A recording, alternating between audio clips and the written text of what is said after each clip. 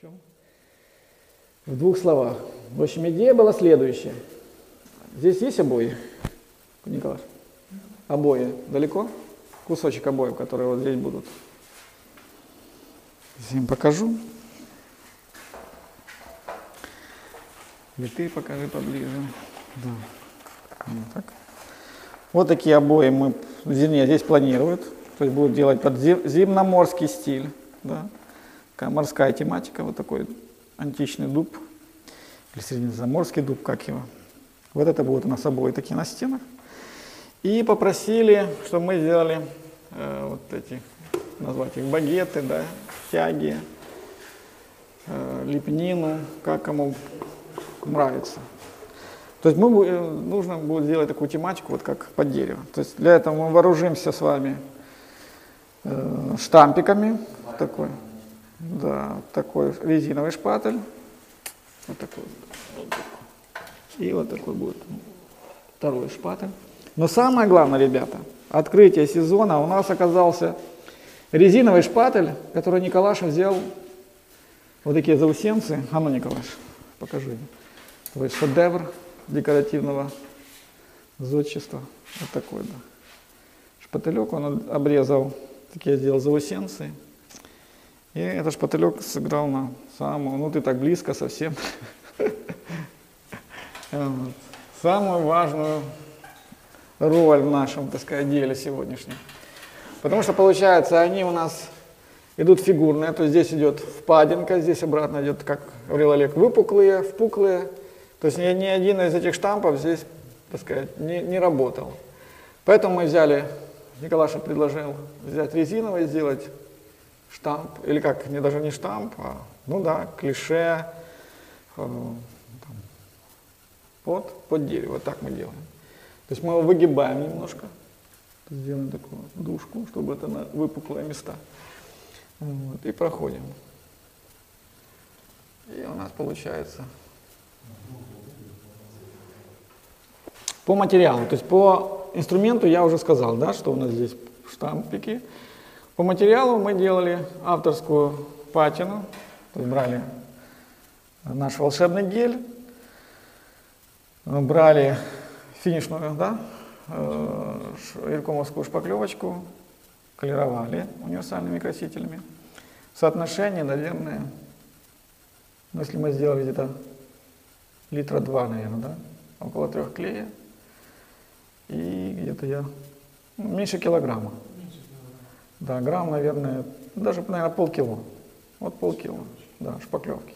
Вот считайте, это 3000, там, это где-то 1 к 6. Вот такое соотношение. Вот. Она, когда высохнет, конечно, она будет гораздо светлее по тональности, тоже, чтобы вы понимали. Вот. И тоже в несколько этапов мы это будем делать. делать. То есть мы планируем сейчас сделаем черновой слой, а потом поклеятся обои, и уже под обои будем делать, ну посмотрим, чтобы обои, когда выклеится помещение, что попросит какой там по тональности, светлее, темнее сделаем. А, ну, Николаш, ты можешь взять штатив, поднять. Да, вот. Сюда покажешь, что, что получается. Можно не так близко, где-то вот так. Да, вот так оно должно быть. Вот, сейчас. Да, и ты можешь им показать. Вот так, где-то, вот. Ага. Показать, что здесь получается. То есть мы опять, на впуклых я уже показал, да, мы делаем вот такой маневр, то есть проводим. Чем он хорош. Провели. А там, где внутренний радиус, мы делаем обратку и проходим. Вот так. Еще раз. Нужно в эту сторону, значит выгибаем шпатель в эту сторону.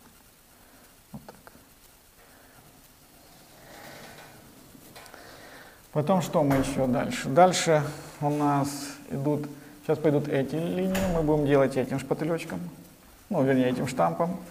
Потом пойдет эта линия, мы будем этим штампиком делать. И потом будем обобщать все тоже с помощью этого э, клише.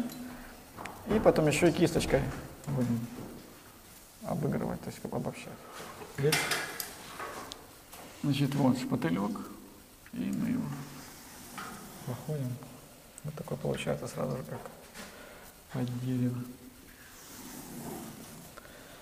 Штамп. Но так как у нас получается разные, ну, здесь мы не можем, да, этим штампом пройтись, поэтому мы сейчас будем их еще раз пройдемся этим шпательком по нашему рисунку, чтобы сделать его более-менее похожим на рисунок, который у нас на выпуклых частях лепнины. Вот так. И получается этот а, тоже мы внутренний радиус мы делаем шпателечек и проходим. Внутренний радиус. Значит, чем хороша эта патина?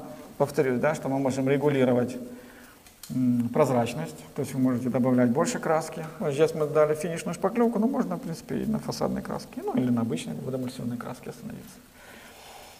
Вот.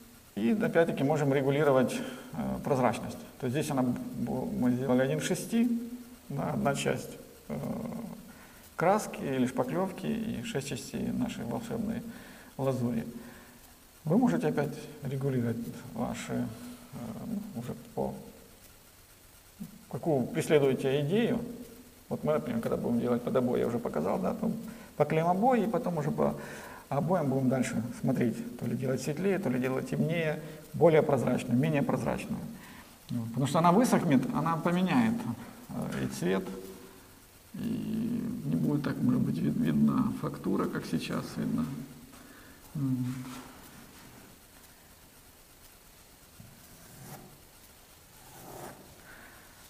Вот так.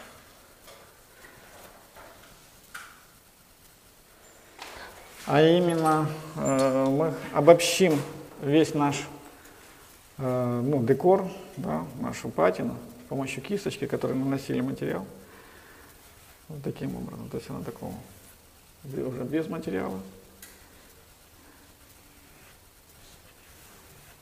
Чтобы, так сказать, наш, наше дерево будет, ну, смягчить да, вот эти линии,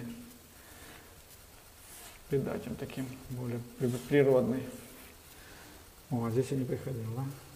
Угу. Забыл сейчас. Ну, покажи им ближе, как это, да, как она до, а, ну, когда ее не обобщать, да, и сейчас вы видите, когда я обобщу, какая получается разница.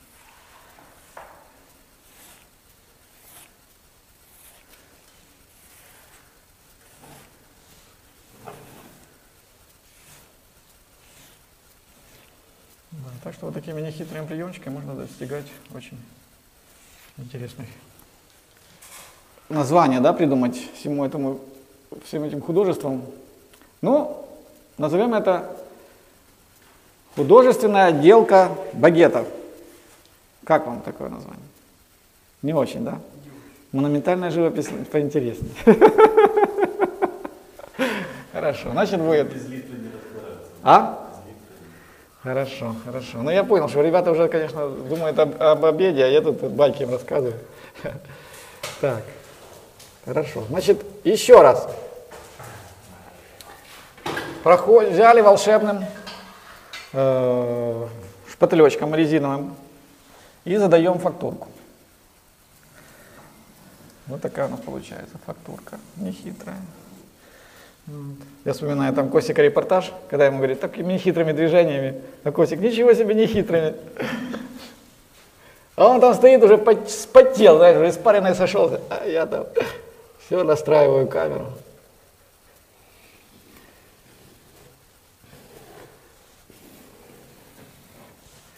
То есть обои я вам показал, э, штампик я вам показал, один, другой, третий. Тут даже еще такой есть. О, еще такой штампик. Это самое главное. Секретное оружие.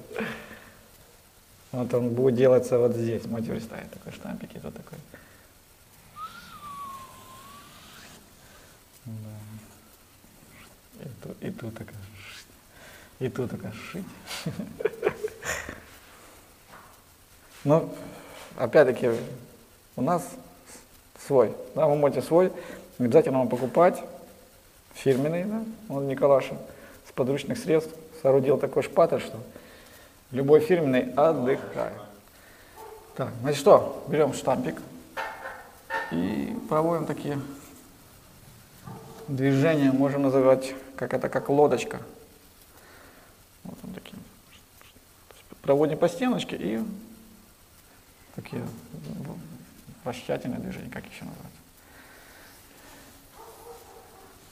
И за счет этих движений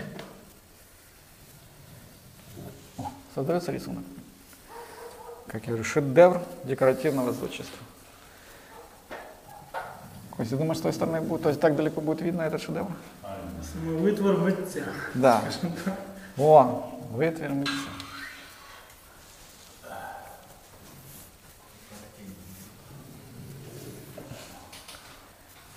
О, видно. То есть еще раз. Может быть здесь будет вам еще интереснее. Сейчас я возьму по- позамашнейший штампик. Еще раз, да, пока, как это будет происходить. То есть вот таким образом. Вот он будет ездить по плоскости. Берем его и, и получаем шедевр декоративного зодчества. Ловкость рук и никакого мошенничества. Уже под дерево готов штампик. Так, со шпат, ну, стараемся убра- убирать лишнее. Да? Под конец работы растворилось. Так, значит, мы сделали. Теперь, как я вам говорил, для того, чтобы ну, выровнять этот рисунок с этим, поэтому эту красоту делаем еще красивее этим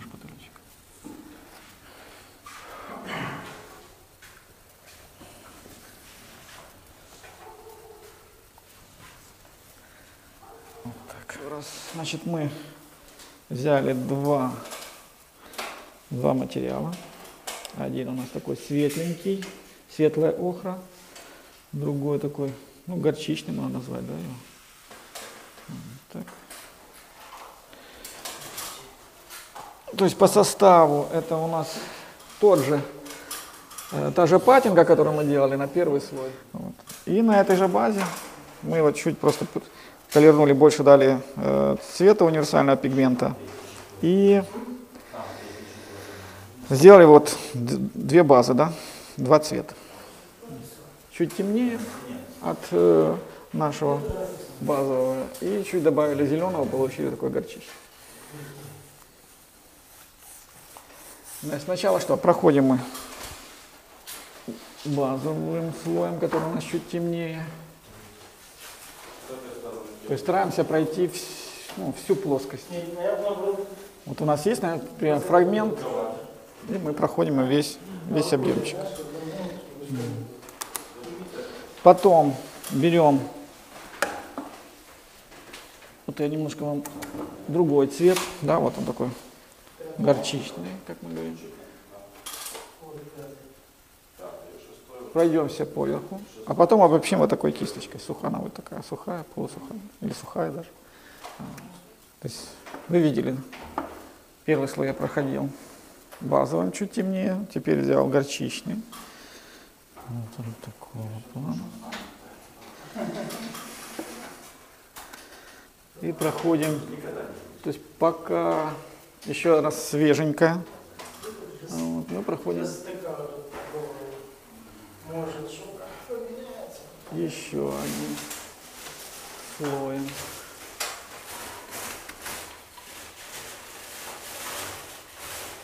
И что это нам дает? Дает следующий маневр. Во-первых, она получается у нас многоцветная. За счет того, что мы будем потом проходить кисточкой полусухой, у нас один цвет будет смешиваться с другим равномерненько. То есть будет такая, получается, у нас лессировка, то есть когда будет цвет накладываться на цвет. И второй момент, э, вот наша кисть большая, она нам сдаст глубину. То есть, когда она поставит фактурку, и эта лазурька наша или патя наша фирменная высохнет, она даст такую глубину, то есть тоже как подчеркнет такую текстуру дерева.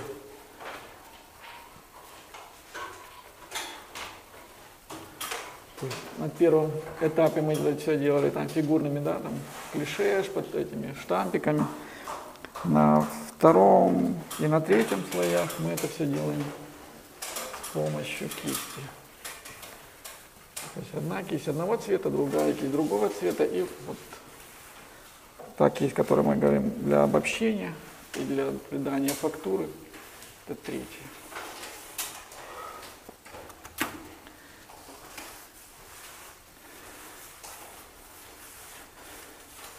Как я говорил, да, художественная отделка. Художественная, да. Роспись.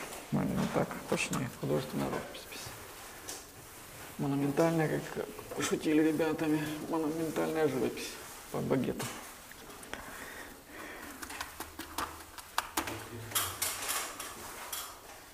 Там дальше надо закрасить. Помню, аккуратно. Ты же знаешь. Будет покрасить.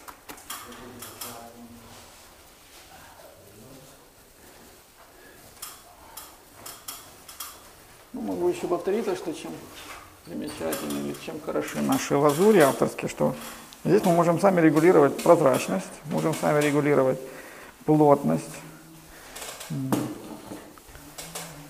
Ну и то, что они всегда под рукой. Да? Клей обойный, клей ПВА и краска водомульсионная всегда у вас есть. Вот наш самый основной, так сказать, инструмент. Что мы с ним можем делать? Мы делаем опять, как я говорил, обобщаем наш рисунок. Раз, два. Она у нас, да, задает такой флейцу. Она, может быть, даже снимает где-то лишнее нашу лазурь, потом дает. Сейчас я вам ближе покажу, чтобы вы понимали, что происходит. Так. Вот видите, нашу. Вот такая.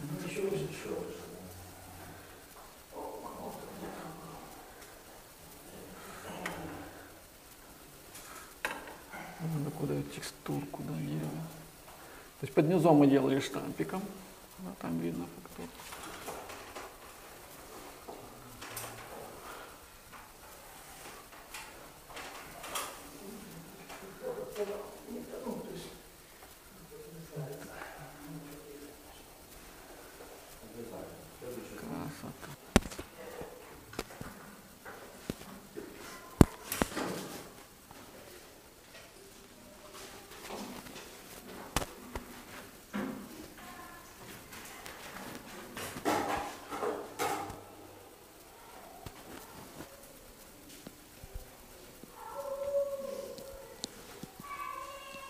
ハハハハ!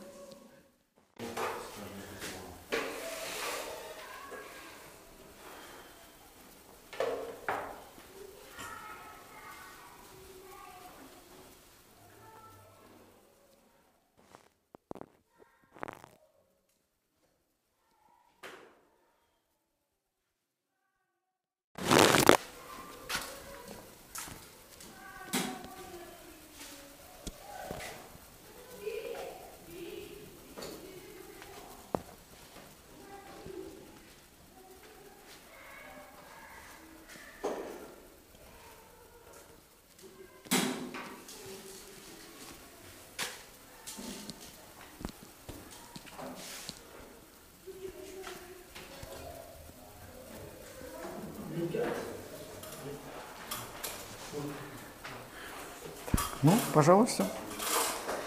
Так что делайте с нами, делайте как мы, делайте лучше. С вами был Олег Антонов, далее буду. Пока.